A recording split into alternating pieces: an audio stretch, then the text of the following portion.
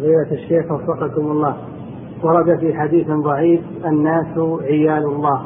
ثم المقصود بكلمة عيال؟ فقراء يعني من العيلة وهي الفقر. وإن خفتم عيلة سوف يغنيكم الله من فضله. يعني الفقر.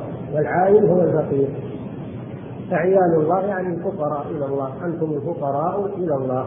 الله هو الغني الحميد وليس المراد عيال الله يعني أولاد تعالى الله عن ذلك والله تعالى أعلم وصلى الله وسلم على نبينا محمد وعلى آله وصحبه أجمعين.